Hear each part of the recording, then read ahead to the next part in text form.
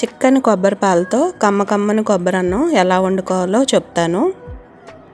పెద్ద సైజు కొబ్బరికాయలు నాలుగు తీసుకొని చిన్న చిన్న పీసెస్గా కట్ చేసుకొని క్లీన్గా నాలుగైదు సార్లు కడుక్కొని మిక్సీ జార్లో వేసి తగినంత వాటర్ వేసుకొని బాగా స్మూత్గా గ్రైండ్ చేసుకోవాలి. ఎంత స్మూత్గా అంటే వీడియోలో చూపిస్తున్న విధంగా స్మూత్గా గ్రైండ్ చేసుకొని ఒక బౌల్లోకి తీసుకొని పక్కన పెట్టుకోవాలి. ఈ పేస్ట్లో మనకి కావాల్సినన్ని వాటర్ కలుపుకొని వేరే బౌల్లోకి స్ట్రైనర్ పెట్టుకొని వడగట్టుకొని కొబ్బరి పాలని తీసుకోవాలి. ఈ కొబ్బరి పాలతోనే మనం కొబ్బరి అన్నం వండుకుంటాము.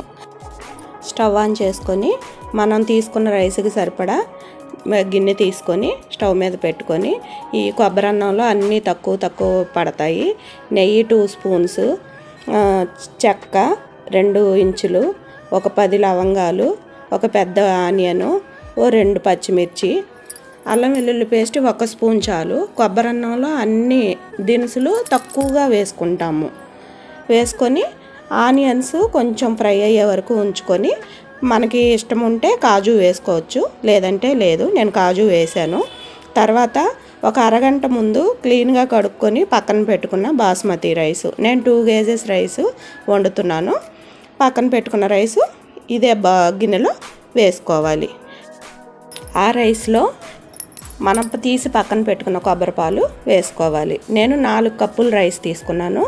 కప్పుకి కప్పున్నర చొప్పున ఆరు కప్పులు నేను కొబ్బరి పాలు వేస్తున్నాను. మనం అరగంట ముందు నానబెట్టుకున్నాం కాబట్టి కప్పుకు కప్పున్నర కొలత. నానబెట్టుకోకుండా వేసుకుంటే కప్పుకు రెండు కప్పులు పాలు పోసుకోవాలి.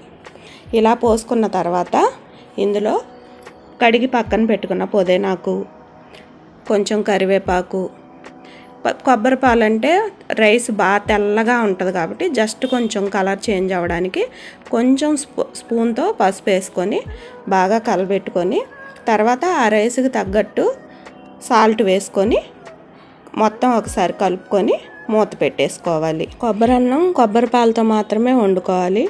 కొన్నిసార్లు పేస్ట్ నుండి తీసిన కొబ్బరి పాలు సరిపోక కొందరు వాటర్ కలిపేస్తారు. అలా కలపడం వల్ల టేస్ట్ అంతా డిస్టర్బ్ అవుతుందన్నమాట.